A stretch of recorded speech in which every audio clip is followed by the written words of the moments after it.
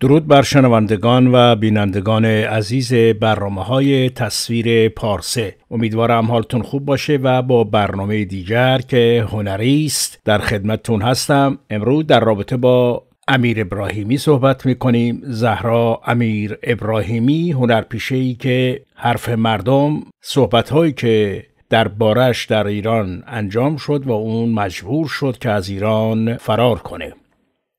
زهرا امیر ابراهیمی دختر بازیگری که طوفان عظیم آزار اجتماعی زندگیش رو در نوردید و فشاری طاقت فرسا با انتشار تصاویری از حریم خصوصیش بر جان جوانش تحمیل شد. او خودش می‌گوید اون ویدیو چهار میلیارد تومان گردش مالی طی یک مدت زمان کوتاه داشته و افراد زیادی اون رو دست به دست میچرخاندند.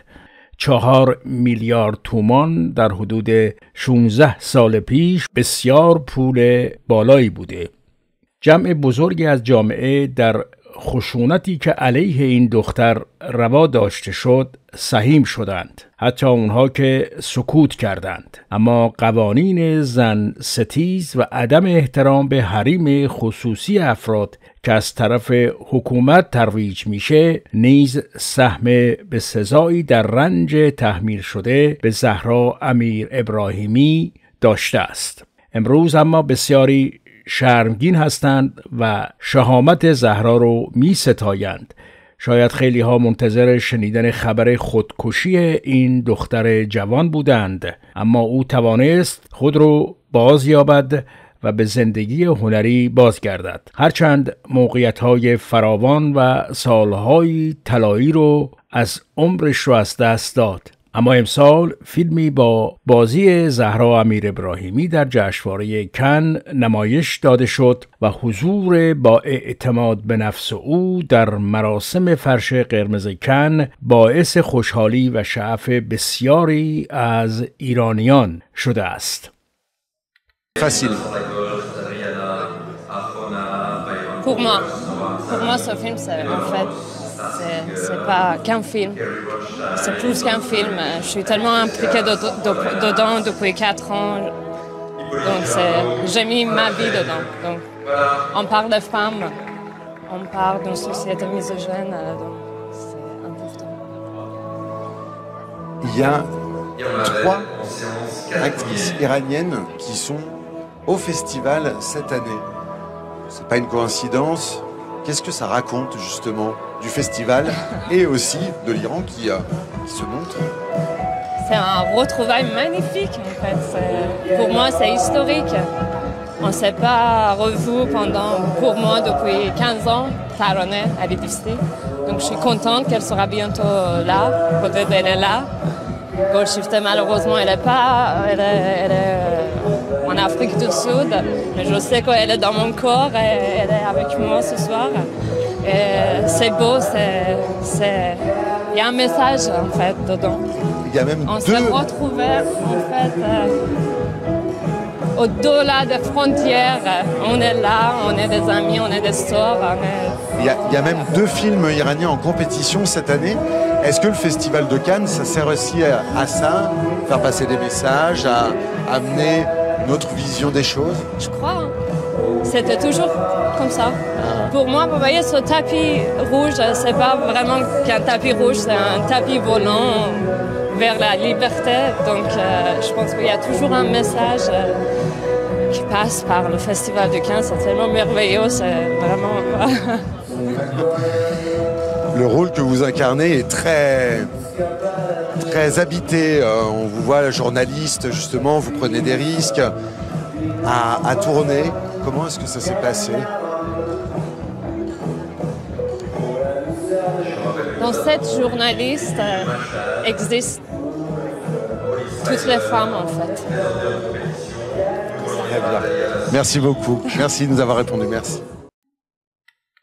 حالا همگان زنی با شهامت را می ستایند که روی پای خودش ایستاد و بعد از آن همه فشار به زندگی بازگشت. زنی با اراده با شهامت و زیبا. گلشیفته فراهانی بازیگر سرشناس ایرانی با انتشار یک ویدیو نوشت خواهر تبعیدم بر آن فرش. فرشی به سوی آزادی که با شهامت بر آن قدم نهادی تو ورای مرزهایی برای خشم و حجومی هستی که 16 سال پیش بر تو وارد شد. ورای بیعدالتی جامعه زن ستیزی که روح تو رو تیکه تیکه کرد و آرام آرام سر صبر جوید. تو یکی از بزرگترین منابع الهام من بودی و هستی و خواهی بود. از اعماق تن و جانم به تو افتخار می کنم زهرا امیر ابراهیمی پس از سالها سکوت از ماجرای منتشر شدن فیلم خصوصی خودش که باعث شد از ایران فرار کنه پرده برداشته. به گزارش یکی از رسانه ها بازیگر جنجالی سریال نرگس سالها قبل به دلیل پخش فیلم خصوصیش که با نام فیلم زهره معروف بود مجبور به ترک ایران و مهاجرت به فرانسه شد. این بازیگر به تازگی در مصاحبه‌ای که با یکی از شبکه های فارسی زبان اظهار داشته گفته یکی از بازیگران تئاتر به نام مجید بهرامی فیلم خصوصی وی رو منتشر کرده. در اون مصاحبه گفته پلیس ایران منو به جرم تولید و توزیع چنین فیلمی بازداشت کرد. من در ابتدا به فردی که در فیلم همراه هم بود مشکوک بودم. اما در نهایت مشخص شد فردی به نام مجید بهرامی که ادعای بیمار بودن داشت و مدارک زیادی از گفتگوهای مبتزلش با دختران دیگر ذخیره کرده بود فیلم را پخش کرده بود. مجید بهرامی به دلیل انتشار فیلم زهرا امیر ابراهیمی به شش ماه حبس و برای موارد دیگر به شش سال حبس محکوم شد. ولی پس از گذشت چند ماه آزاد شد. حالا مجید بهرامی کی بود؟ مجید بهرامی متولد سال 56 در تهران بود و به عنوان فرزند دوم در خانواده با یک برادر و سه خواهر بزرگ شد. او که در بازیگری تحصیل کرده و با تئاتر اولین تجربه بازیگری خیش رو به دست آورده بود تا اینکه در سال 1380 وقتی که 24 ساله بود با سریال یادداشت‌های کودکی اولین تجربه بازی رو در جلوی دوربین به دست آورد. بعدها او در فیلمهایی چون بدرود بغداد، گیلانه، دانه های ریز برف و تئاتر سیاها، خانه در گذشته ما، اشقابات و عجایب المخلوقات ایفای نقش کرد. مجید بهرامی در 11 دی ماه 1388 زمان دویدن صبحگاهی با درد شدیدی در شکم خود مواجه شد و پس از مراجعه به پزشک و انجام آزمایشات مختلف فهمید به سرطان مبتلاست و به همین دلیل از اوایل اسفند سال 88 شروع به شیمی درمانی کرد اما نتیجه چندان مثبتی نداشت. سرانجام مجید بهرامی بعد از پنج سال مبارزه با سرطان در تاریخ 24 آبان سال 93 درگذشت. زهرا امیر ابراهیمی دلیل چند سال سکوت خود رو فشار روحی که تحمیل شده بود بر خانواده و بیماری مجید بهرامی عنوان کرده بود.